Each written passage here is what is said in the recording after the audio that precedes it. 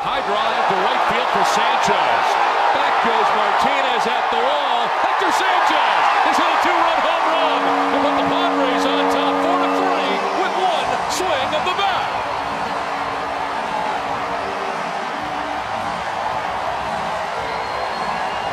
Pinch hit, two-run home run for Hector Sanchez.